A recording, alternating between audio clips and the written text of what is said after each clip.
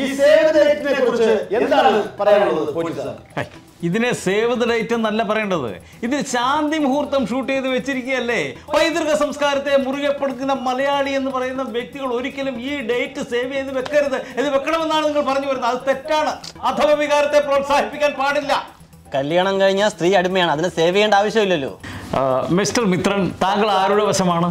ഞാൻ ഒരു പുരോഗമനവാദിയാണ്. ഞാൻ എല്ലാത്തിനും എതിരാണ്. ഓ എല്ലാത്തിനും എതിരാണോ? എല്ലാത്തിനും ഒരു മാനവരാശി മൊത്തം എതിരാണ്. വിത്ത് പ്രൂഫ് ഓ അത് ശരി. അപ്പോ താങ്കൾ ഒന്ന് എതിർത്താട്ടെ? താങ്കൾക്ക് ഒരൊറ്റ അച്ഛനേ ഉള്ളൂ. ഇല്ല ഇല്ല എനിക്ക് രണ്ട് അച്ഛനുണ്ട്. അവൻ തന്നെ അമ്മ അവൻ രണ്ട് തന്തയുണ്ട് എന്റെ നിങ്ങൾ ഈ സേവ് ഇതിനെ എതിർക്കാനുള്ള കാരണം എന്താണ് എന്റെ മകൻ. അതാണോ കാരണം?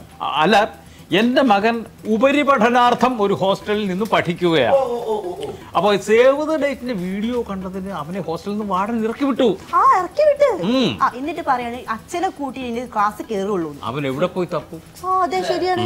എ, തഞ്ചാവൂരോട് ഇതൊക്കെ ആരാണ് കാണാൻ പറയുന്നത് മിസ്റ്റർ എഴുപതുകളിലെ വസന്തം. ആ അപ്പൊ ഇതൊക്കെ കുട്ടികൾക്ക് കാണാൻ കൊള്ളാത്ത വീഡിയോസ് ആണെന്ന് നിങ്ങൾക്ക് തന്നെ അറിയാം അല്ലേ? ഹും. അതേ സമയത്ത് ഞങ്ങളുടെ വീഡിയോ അല്ലേ? ഞങ്ങളുടെ കല്യാണ വീഡിയോ. ഇപ്പോഴും. കാണാൻ എന്ത് മനോഹരമാണ്. പിന്നെ ഞങ്ങൾ എല്ലാ ദിവസവും കാണുന്നുണ്ട് അതെ അതെ.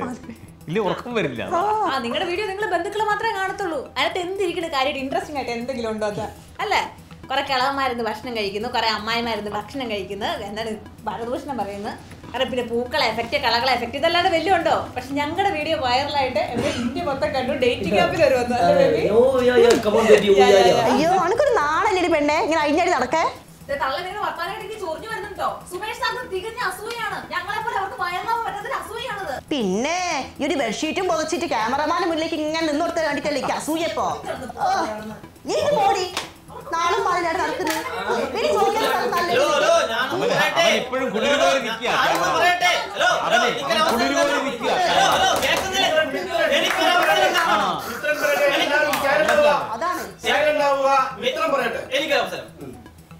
രാജഭരണവും സിന്ധു നദിയുടെ സംസ്കാരവും നമ്മളിലേക്ക് അടിച്ചേൽപ്പിച്ച അടിമത്തമാണ് കല്യാണവും സേവ് ദ ഡേറ്റും. അയ്യോ യവന് മുഴുത്ത ഭ്രാന്ത് കേട്ടോ.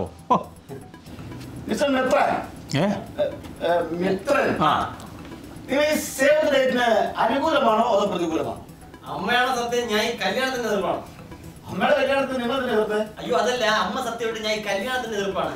എനിക്ക് ഈ ഷേദ ഒട്ടും ഇഷ്ടമല്ല.